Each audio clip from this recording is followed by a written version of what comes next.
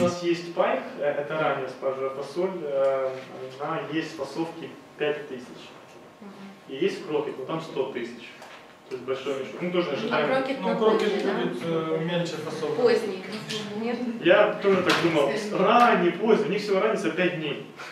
Всего лишь. Э, Крокет, к примеру, первая зависть, ну, первый бобры был- появляется у него на 45-й день. И поэтому говорить, что там поздний, там сильно большая разница, там как бы я бы не сказал. Грубо говоря, на 42-й день пайк начинает уже э, плодоносить. А с конкурентами? Номер один в мире. Э, В этом году у вас э, в Каховке росло 12 гектар. Э, Паша Виталий, вы наверняка знаете, вы слышали. Э, Он на заморозке. Какая есть? У него росло э, кровь. Кровь. Ну, тут как бы на весах видно, да, пайк, э, за счет того, что он ранее, он уже выполнился, да, это все с куста. То есть это урожайность с куста, 210 грамм. А крокет, за счет того, что он более э, поздний, видите, вот еще не выполнились, то есть им еще, грубо говоря, надо было там 3, максимум 4 дня.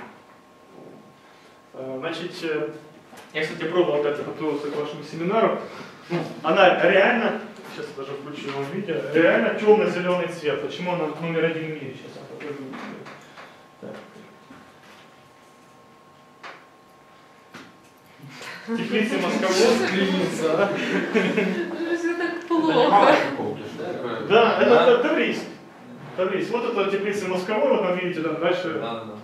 Вот это поле там росло. Значит, э, э, по густоте. Есть два варианта густоты, которые можно рекомендовать.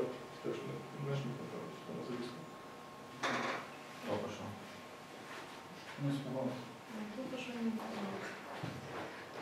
Значит, э, здесь густота 350 тысяч. Э, И... Ага, все, я понял, мы не увидим видео. Хорошо. Э, Ну, ее можно загущать даже до 380 тысяч на гектар. По урожайности, опять же, она одна из самых урожайных, до 18, ну, 20 тонн она дает. Есть спаржевая фасоль это фантастика. Если брать обычную фасоль, к примеру, обычную фасоль, то она дает там, 4 тонны за гектар. Вот фасоль настоящий темный цвет. Я переборщил уксуса, и, к сожалению, э, цвет ушел. Но на самом деле э, тут даже такого цвета я и, и не увижу, чтобы показать. Э, Одной еще особенностью э, спаржи, ну, требования к спарже, есть такие, может, когда может, кушали, то как волокно такое, когда разрешаешь, и оно так как бы болтает, ну, очень не совсем приятно, то на спаржевых фасолях клосс этого нет. То есть поэтому она, ну, реально спаржевая фасоль клосс это номер один во всем мире. Белоруссия, там, э, рынок России 45 тысяч тонн э, спаржевой фасоли в замороженном виде. Ну, то есть, конечно, если бы у нас были бы открыты границы, вот, вот эти все истощенные поля лука, морковью, капуста, эти фермеры ну, уже руки опускают. Вот хорошая альтернатива для севооборота. Ну и, опять же, если был бы рынок хороший на сыровые. Поэтому спаржевая фасоль, ну, смело рекомендуйте, то есть на 40, 40 день отсходов э, можно уже начинать ее убирать. Это и свежий рынок, и, ну, если нам надо на переработку. А на осень у нас сажают? Еще раз. На осеннюю, на второй оборот. Значит, э, было две посадки, это май месяц. Э, сейчас я скажу вам, Э, где-то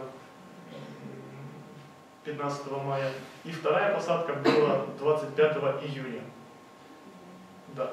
А позже не пробовали? Можно ее позже садить. То есть таки- с таким сентябрем, как у нас сейчас, то можно ее, чтобы она выходила в сентябре. Грубо говоря, он ее в августе уже, в конце все уже почистил, убрал. как бы. Ну, ну, как бы ее, ее можно. Кстати, э, ее можно садить и в YouTube. Вариант. Как, как, как, как один из вариантов. Не, под, я почему спрашиваю под два оборота, первый и второй. Ну, по спарже есть нюансы, э, чтобы много не портить. Э, Опять же, э, по неопытности э, мы тоже столкнулись на поле сначала, э, опять же, новая культура, пока в нее вникнем. Вот есть спаржа, грубо говоря. И тут висят бобы. Тут на каждом ярусе, он примерно как на перце, на перце, есть там свое количество бобов. Ну и тут завязываются бобы. Там самая верхняя там, часть только, только цветет. А здесь уже бобы есть. Вот, э, то есть сформировался у нас уже одна спаржа, у вас есть 7, максимум 10 дней для того, чтобы его брать. Иначе у вас будет просто э, фасоль на борщ. Вот и все. Вот. э, Получается, фермер э, перестал уже кормить, ага, у него уже то есть спаржа пошла, поливать перестал, э, и ждал, что кто-то доходил, и тут уже начало переспевать. Поэтому быстренько поменяли питание, дали воды хорошо, она здесь все зажилась, а комбайн меня зашел, убрал и остался долго. Вот. Цена в этом году, э, ну, в августе месяца, э, когда все было по 1 гривне, то нам по 8 гривен не доставало. Спасибо за внимание. С вами был ваш супермаркет Семян. Подписывайтесь на наш канал и ставьте лайки.